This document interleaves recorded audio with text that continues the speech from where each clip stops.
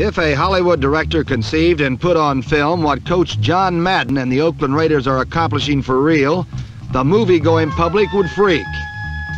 But against the Jets at Shea Stadium, it truly looked as if the Raiders had run out of miracles. The Jets, with number 32 Emerson Boozer alive and kicking, ran successfully as Boozer gulped 115 yards. But the elements and good defense combined, and the Jets led by only 3 0 at halftime.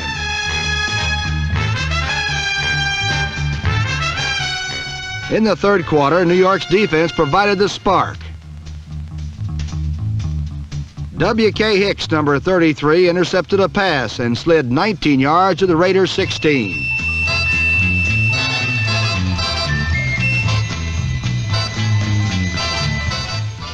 From there, Woodall threw a perfect pass to Pete Lammons, number 87, and the Jets led 10 to nothing.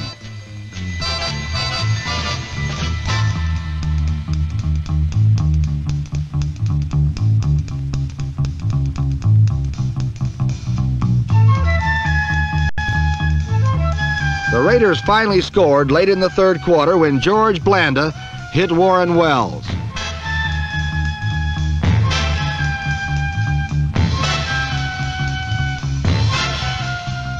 But the Jets seemed destined to win. Al Atkinson made the Jets' second interception. Jim Turner kicked a field goal, and the Jets had a seemingly comfortable lead, 13 to 7.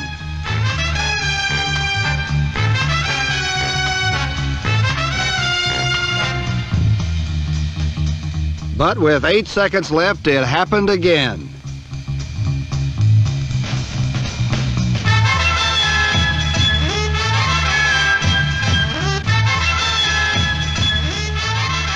Lamonica's desperation heave found Warren Wells in the end zone, and the Jets had been just another victim in a long line of Oakland miracle finishes.